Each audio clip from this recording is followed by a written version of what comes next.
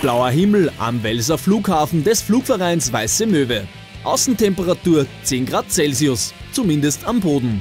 Der 37-jährige Kunstflugpilot Richard Steiner zählt zu den wenigen österreichischen Top-Piloten in dieser Disziplin.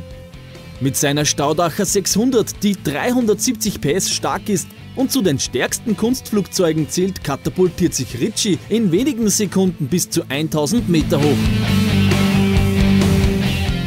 Dann kurzer Stillstand in der Luft. Ritchie beginnt mit seiner Show.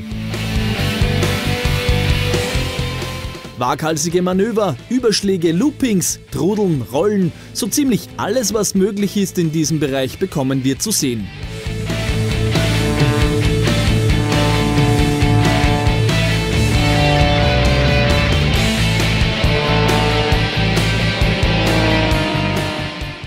Achterbahnfahrt hat man maximal das Vierfache vom Körpergewicht. Ich habe jetzt bei dem Flug da gehabt das neunfache Körpergewicht und positiv, das heißt die Kräfte, was nach unten drücken, da wo, der, da wo das Blut vom Körper rauszieht.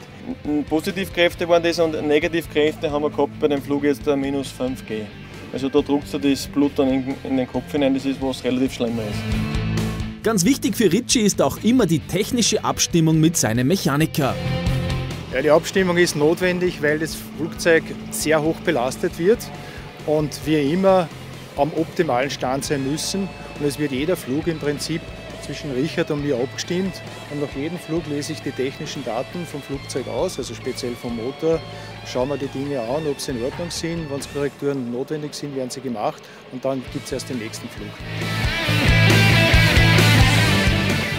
Und demnächst steht bei Ritchie vieles am Programm. Ja, wir haben für nächstes Jahr ein Ziel, etwa 15 Airshows zu fliegen. Der Highlight wird wieder die Scalaria Air Challenge sein, für die ich auch relativ viel fliege. Wir werden jetzt einmal ein Jahr Schulflug machen und dann schauen wir, wie es weitergeht.